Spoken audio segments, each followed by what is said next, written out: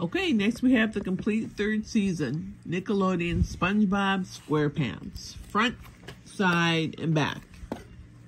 Now we're going to take the plastic off and see what's inside.